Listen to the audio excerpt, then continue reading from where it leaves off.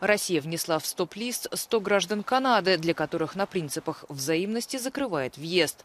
В их число попали чиновники, бизнесмены, активисты и журналисты, а также писательница Маргарет Эдвуд, актер Джим Керри и известный историк КГБ Эми Найт. Все они, по мнению Москвы, вовлечены в формирование агрессивного антироссийского курса.